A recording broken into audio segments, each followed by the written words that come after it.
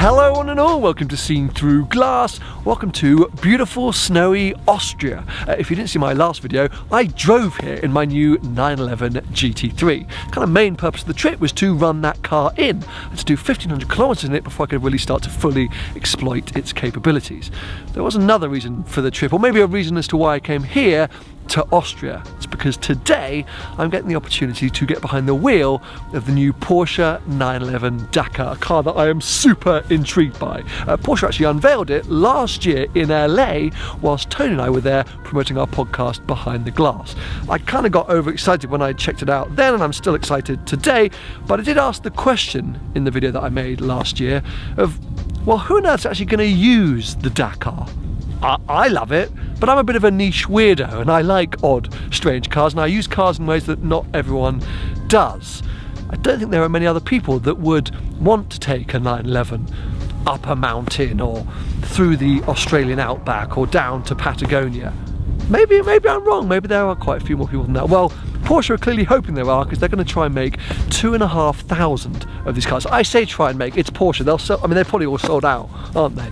Because collectors and stuff. But anyway, let's not get into that. That's a whole nother conversation, maybe for the podcast. Today, I'm just going to indulge in my excitement, get behind the wheel and find out whether this car can live up to the kind of expectations or hopes that I have for it, or whether actually maybe it's just a bit of Instagram fodder, a bit of a sort of collector special that we may never actually see being used to its fullest potential.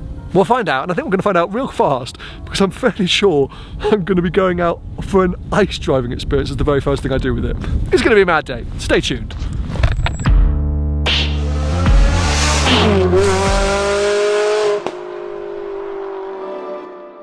Just quickly before I crack on with this 911 Dakar experience, let me remind you about my sponsor for this trip, Car Vertical. Uh, without Car Vertical, I wouldn't be able to stay at that awesome hotel in Munich on my way down here in my GT3, but I also wouldn't have been able to change my plans super last minute and reroute myself here to Austria to drive the Dakar, so yes, huge thanks to them. Uh, car Vertical essentially help you avoid costly problems when buying a car.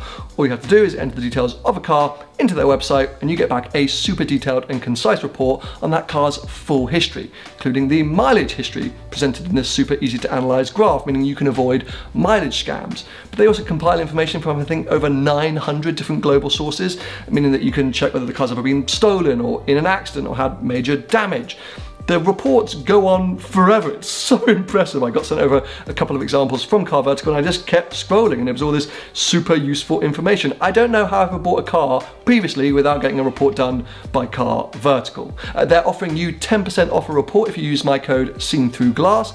A link is in the description. Let's say in the future you're considering buying a used 911 Dakar or get a report done via Car Vertical just to make sure that I didn't plough one into a snowbank during a press trip and that's the one you're thinking of buying. Yes, huge thanks once again to Car Vertical. Go and check them out. But for now, let's go find a 911 Dakar.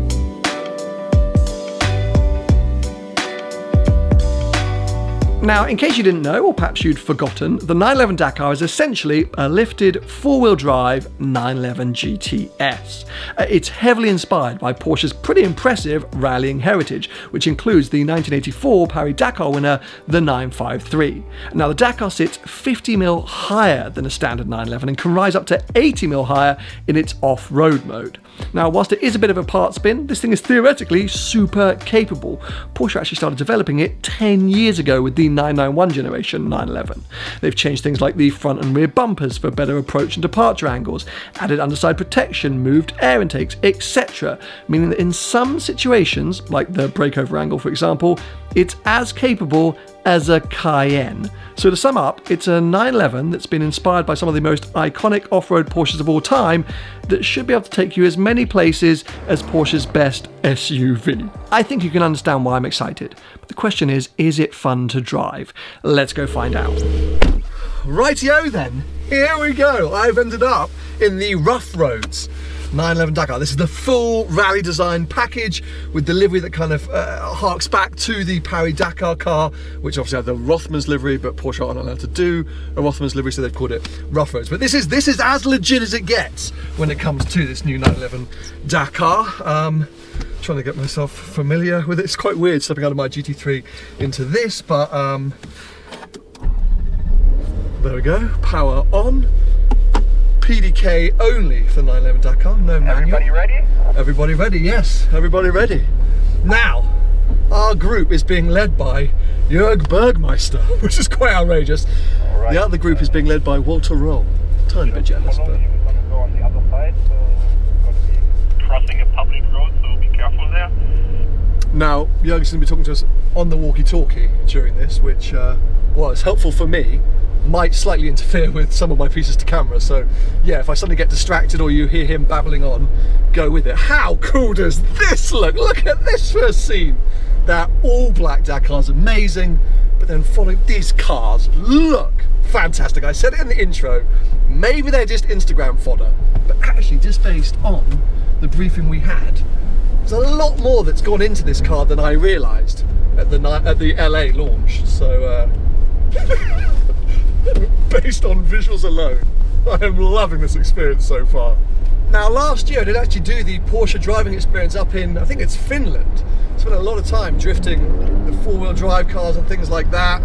So, fingers crossed I'm going to know what I'm doing, but hold on a sec. I'm trying to find my way around this car first. There we go, into sport mode. to keep the silence. They said, um, oh, there we go.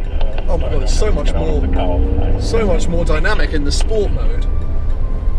But yeah, they said that actually out here we're not going to be using rally or off-road, which are the two new driver modes for the Dakar. You just want to be in sport. There we go. Bit of four-wheel drive drifting. Yeah.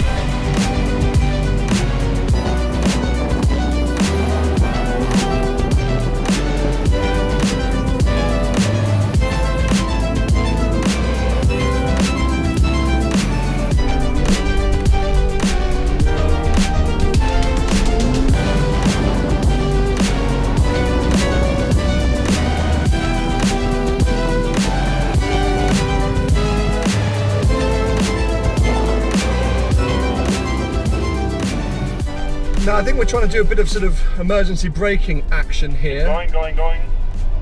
A little too early. Even Which- more aggressive. Maybe no one really understood, especially not me. So we'll give this a go now. And go. We're doing this is basically a bit of an emergency braking test, right? Basically. So braking and turning so you see the friction circle of the tires um, and what the car is capable even on in those conditions.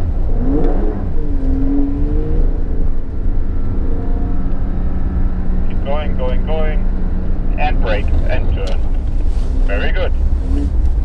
Look at that, very good from Jörg. Woohoo! Oh yes.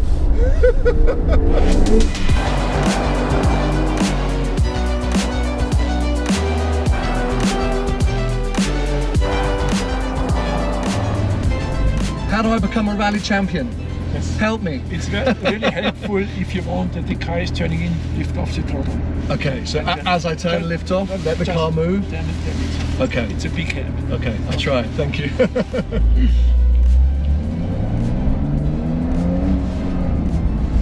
Ah, there we go. Woo! Too much. I lifted off too much. Took Walter's advice. Too much to heart there. Off again. Whoa! I've now gone around in circles six times.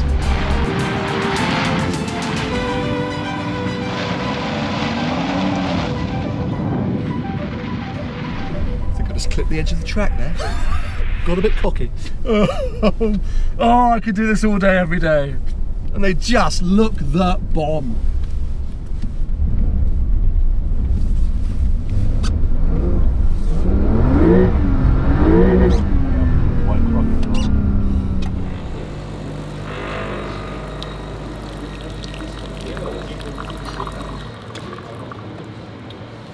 Okay, danke.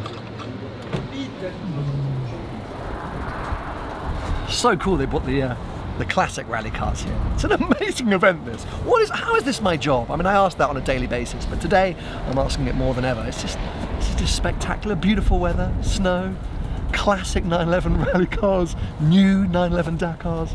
Uh, you wouldn't have known it, but at the end there, I was actually chasing Walter Röhrl. He was in the other Rough Roads liveried Dakar. I mean, I say chasing because I was genuinely chasing. He was like, okay, follow me. He was gone after two corners. I was like, try and Walter.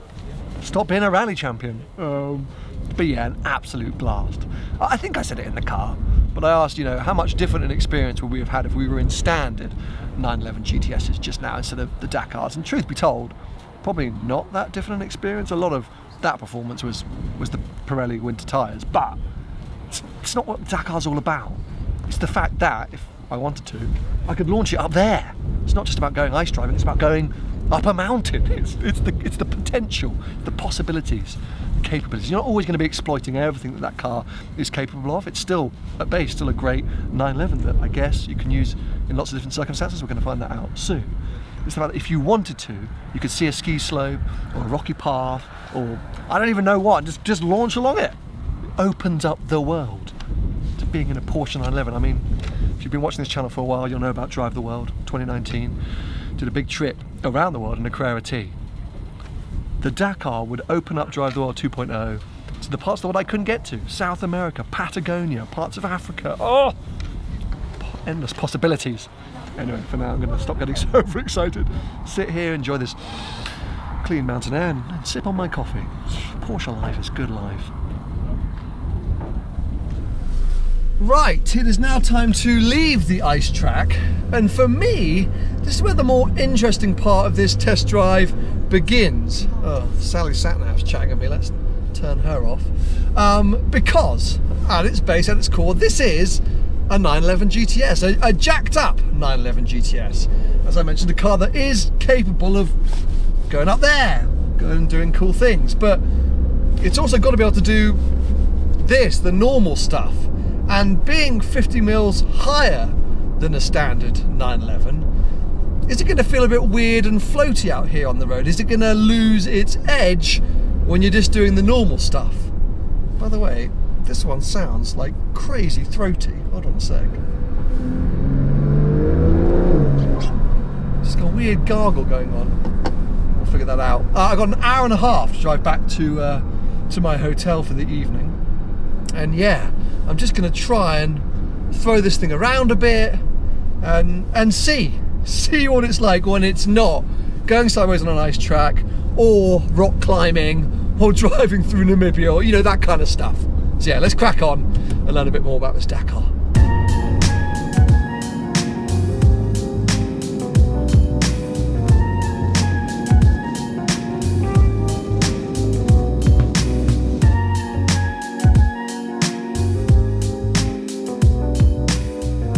Got a little bit of a motorway or auto route to do as the first part of this uh, pre-programmed route back to the hotel that Porsche have put in the sat nav. So whilst I'm just cruising, let me talk to you about something which I think is a negative about this car because I realise I've been a bit of an overexcited schoolboy so far and just talked about all the positives, but yeah, but negatives. Well, really, it's, it's this interior.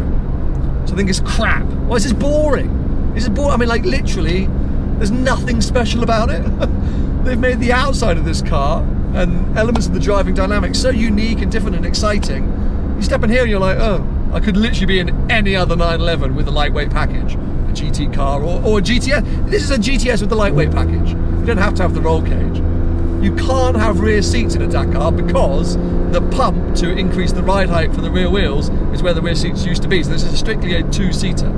Because Porsche hope that Dakar customers are going to go well, seriously off-roading, they suggest or recommend the buckets to kind of keep you in place. But if you've watched any of my recent GT3 content, you'll know how I feel about the buckets. I, I don't want them. But moreover than that, the thing that really annoys me is that you can't have any colours. You can't, you can't do anything. It's just black and Race-Tex. Ugh. If you look at the Sport Classic, another sort of special 911 project that Porsche have released recently, it's got a beautiful interior which harks back to its heritage and history. This car is all about celebrating heritage and history, the 1980s rallying scene for Porsche, and then you step in here and you're like, oh, I don't get any of that. I really don't, apart from the rubber floor mats and the big old Dakar badge over there. I mean, it's, it's really a letdown. So there's not really much you can do about that apart from, I guess, go to D-Class, the people who installed the Pasha into my seat and yeah, get a custom retrim. But yeah, I, I would be really disappointed if I bought one of these cars that I had to live with this interior, considering how special it is from the outside and how theoretically unique it is. Aside from that, the only thing which I've picked up on from my very brief drive to this point, the car's a little bit more aggy than I sort of thought it was going to be. It's got a bit of an edge to it. I don't know if it's because of the lightweight glass, the no rear seats, you know, the weight reduction they've done. It's just got a bit of, a bit of character and personality. It's not subdued. It almost makes me feel like I'm in a 1980s rally car. Okay, way more refined, but it's definitely got an edge. Oh, there's a there's a tunnel coming up. Right, so I'm in rally mode at the moment. We'll get into the, the driving mode in a second. But the sports exhaust is on, manual. Let's see. This is the turboed engine.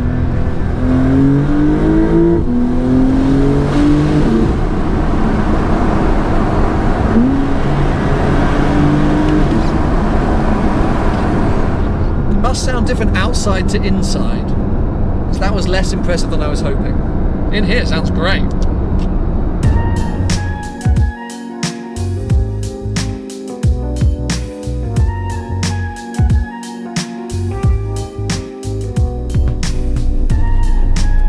A bizarro route that Porsche have chosen back to the hotel. I'm I'm following the sat nav blindly, which maybe I shouldn't have done, but we're limited on time. You've probably noticed that it started to get dark. We actually didn't start the ice driving experience till around 1 p.m.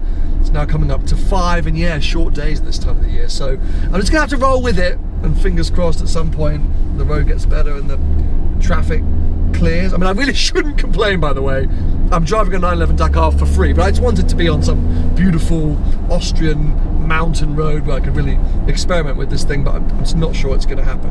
Uh, anyway, let me talk to you about driving modes because that is different. The interior might not be, but, but that is different for this car. We've got two new driving modes, uh, four in total, normal, sport, rally and off-road. Normal and sport, as you would expect, the same as any other 911. I'm actually just going to slow down and drop back from that Golf because it does look like this road might actually get quite good. I should probably zip up my camera bag. um, rally and off-road though, yeah, all new. So rally supposedly is for fun driving on loose surfaces. Think of gravel, muddy forests, you know, that kind of thing actually sends a lot of the power to the rear wheels, keeps the ride height at that sort of standard 50 mil, and yeah, it's about having a laugh. Off-road is when you go up to the, the 80 mil, you add 30 mils of ground clearance, and actually it's more about rock crawling and uh, sand or dune surfing, you know, real boggy kind of stuff. So let's go into rally, because, oh, there is a wet mode as well, by the way. Uh, let's go into rally just to see what happens. Um, and find out when we start pushing on in this GTS with increased ride height, what starts to happen. I have to say, so far, the ride height hasn't made a huge difference to my experience. It's not like it's really slushy. I do feel like it's a little bit more play, but it's not like I'm suddenly in a Range Rover. I've still got all the confidence to push on into the corners. This is really not the road to be doing this in. And I wasn't prepared for it. I've got camera gear flying everywhere, but beggars can't be choosers. Let's take what we can get. So yeah, I mean, this is still really good. This is still a 911 and a, and a, and a really quick 911. And I say I'm not nervous heading into these corners. It's a blast. And then, and then we go up to off-road and the vehicle is rising. Now, there's absolutely no need to be in off-road on this road. um, and I don't think you would use off-road mode really very often, but we might as well because we're here. Now, this does limit our top speed. Um, I do suddenly feel quite a bit higher, I have to say. Even though I'm in this bucket seat, I, I, I do feel like I'm high up off the ground, but the ride quality and ride sensation isn't hugely different it's still got a sporty firmness to it. Just because we've got more travel, as I say, it's not Range Rover squishy. It's still got a firmness to the ride, but yeah, I mean, I'm not going to learn anything about off-road mode right now, following a Golf on a slightly dark and twisty Austrian road. What I do quite like though, is if I come back to rally, is that I can, well, I can seemingly raise or lower the ride height of the vehicle at any speed. I did it 100 kilometers an hour there. Like when I was on the motorway, the auto route, just going up and down and up and down. I think that's good because in my GT3, for example, it's only certain speeds that I can do the front lift. I'm sure that's because of aerodynamic balance and stuff. Because we're raising the whole vehicle, it's uh, probably doesn't disturb things as much. But you know, there we go. Just putting it down, lowering the vehicle, and, and that is good if you're really off-roading and suddenly you see a big hole. I suppose. Don't know how long it takes the whole process. Seems to take a while, but um, yeah, it's a it's a, it's a funny one because out here on these roads, okay, not necessarily the best roads ever, not the best driving conditions. It's still a really nice 911. I don't feel like it's lost much. Okay, in the summer, put me on one of the French Alp twisties. Would I struggle to keep up with a GTS or other sports cars? I don't know. I can't believe that I would. I just like the fact I keep looking out there and seeing these huge flared wheel arches. More positivity, I'm afraid. Sorry, haters. I still like this thing.